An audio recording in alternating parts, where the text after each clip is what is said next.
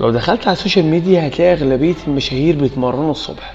مش بيتمرنوا في وسط النهار ومش بيتمرنوا آخر الليل لأ بيتمرنوا الصبح أول ما يصحى من النوم. ده هنعرف الحلقة النهاردة. يلا بينا.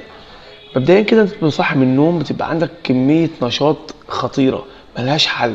هتصحى من نومك عادي بدري الساعة خمسة الساعة ستة الصبح. تاكل وجبة خفيفة تكون فيها carb وفيها بروتين.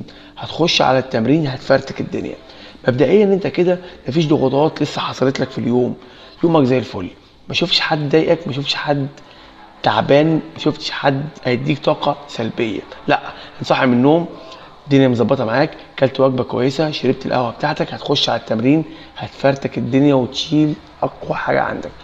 دلوقتي انت كده بدأت يومك بقوة ونشاط باقي اليوم هتلاقي إنتاجية رهيبة ملهاش أي حل. لايك وفولو اللي جاي كتير وخليك دايما جامد.